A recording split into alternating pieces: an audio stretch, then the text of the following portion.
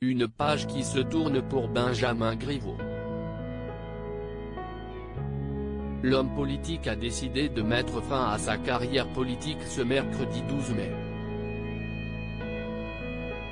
Dans un communiqué publié sur Facebook, l'ancien porte-parole du gouvernement a annoncé sa démission de l'Assemblée nationale, où il siégeait en tant que député de Paris. J'ai décidé de quitter mon mandat de député et ai présenté hier ma démission à Richard Ferrand, président de l'Assemblée nationale.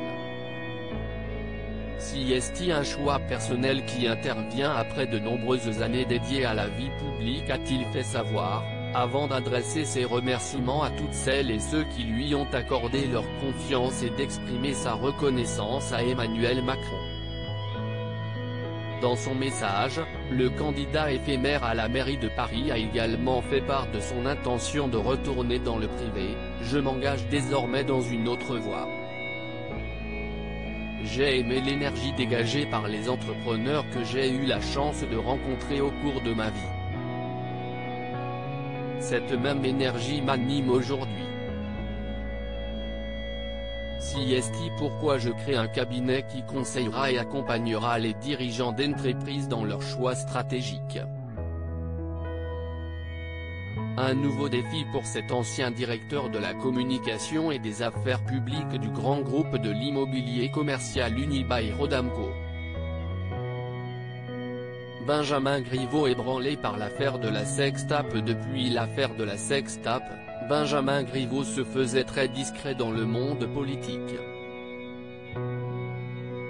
Pour rappel, en février 2020, alors qu'il était en pleine campagne pour les élections municipales à Paris, un activiste russe du nom de Piotr Pavlensky a mis en ligne des vidéos intimes qu'il avait attribuées à Benjamin Griveaux. Ce dernier avait alors immédiatement fait le choix d'abandonner sa campagne et de renoncer à sa candidature à la mairie de Paris. Ces derniers mois, l'ex-militant du Parti Socialiste s'est attelé à sauver le couple qu'il forme avec Julia Minkowski.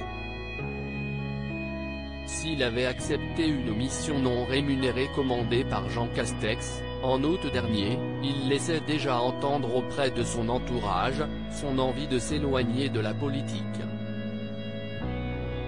Après la violence de la campagne, il a voulu se recentrer sur sa famille et a réussi à retrouver une certaine sérénité au sein de son foyer. Il devrait prendre un poste dans le privé l'année prochain, avait confié une de ses proches aux Parisiens en décembre dernier.